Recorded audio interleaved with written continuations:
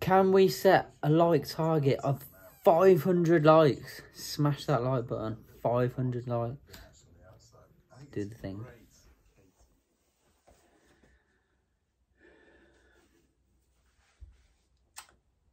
Well, hello. Good afternoon, good evening, good morning, wherever you are. It's Carl. We're back with another video. It's Newcastle United versus Crystal Palace over at Selhurst Park. This light's probably going to switch off now. And this is the predicted 11. As you can see, we're in a little bit of a different setup here. This is the garage. Patrick's gone on that one. This is the garage. And we are uh, we are slowly turning this into a studio. Hence the poor audio in comparison to the, the usual mic'd audio that I have. So I do apologise. Um, but yeah, we're uh, we're we're making moves. We're making moves, just like Newcastle United are. New owners, new management, almost. Looks like it could be Paulo Fonseca. Uh, with a video coming out from myself on Sunday with a bit of background information as to who he is, what we could potentially expect. I don't want to go get into too much uh, surrounding what the media have said about Newcastle United fans and how they're portraying them since Steve Bruce has been given the chop because it's bollocks at the end of the day. There's been a minority that have given him um, personal abuse. Uh, you know, there's times where I've said things I probably should, probably shouldn't have, and I accept that. But you know, let's not act like we we were uh, we were berating this man and berating this man's character on a daily basis because that simply isn't the case, and uh, it's it's a bitter pill to swallow. But it is what it is. We move on. He's gone. We move on to a new chapter, and that brings us to tomorrow. Um, nearly said it again. He's mate. Graeme Jones takes the helm. Graeme Jones, the attacking coach, the man that we all seem to think was behind the the kind of goal scoring and winning streak that we on, went on last, at the back end of last season to keep us in the Premier League. Was I one of those people? No, I'm not. Uh, I'm personally not a huge fan of Graeme Jones. I do believe that he's uh, he's been protected a little bit but we'll see. This is a chance for him to prove people wrong or prove people right. Um, and I, I, I back him more to get attacking football out of this side. I do. I will say that. Um, and you can't do any worse than what we had previously. Um, but we still need to get three points. This is a game that isn't going to be an easy game against a, a, difficult to beat Crystal Palace side under Patrick Vieira. Uh, they did just have just come off a 2-2 draw.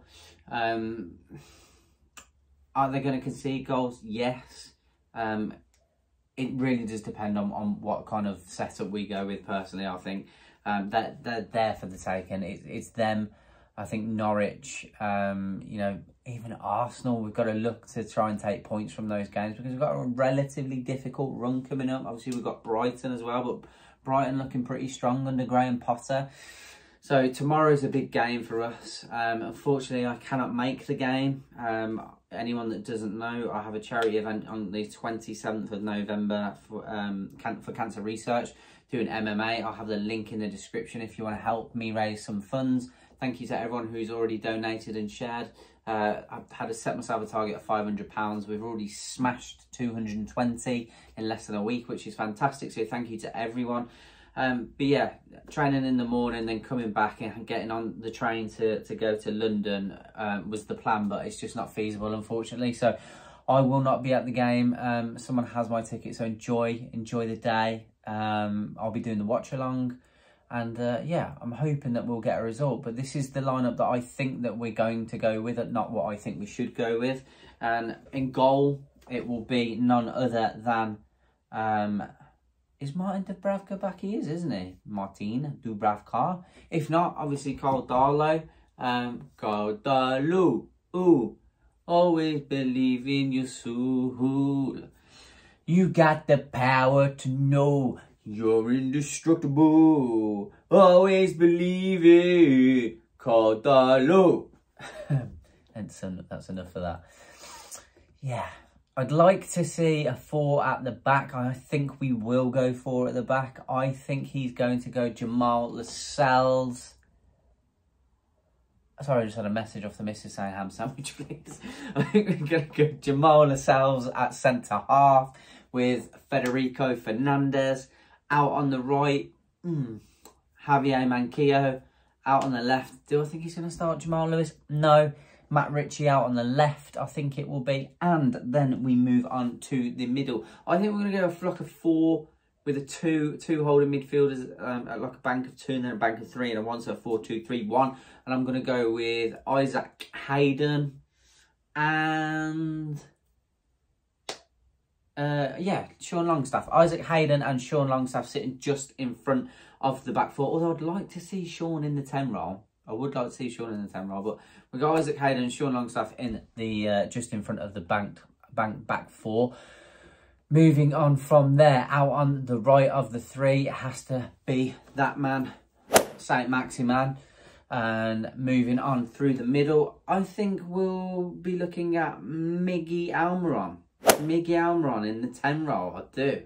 Miggy Almiron in the 10. And on out on the left of him, Joelinton. I don't think Ryan Fraser's going to start. I think Joelinton's going to start. I think Joelinton should start. I know people will disagree with that, but I think out on that left flank position, he's been very strong as of late. He's cut inside very well. He's brought the attackers into play where possible, and he's created chances. And he loves a Cruyff turn on the edge of the box to throw off the defender, create a little bit of space, get a decent pass into the six-yard box because we know he ain't scoring. So up top, then it has to be the man, Callum Wilson, who is in form.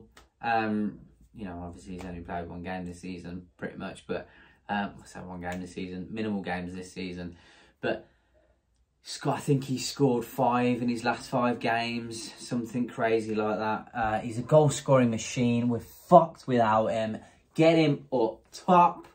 Four, two, three, one. Bish, bash, bosh. 3 1 win. Newcastle United. That's my lineup prediction.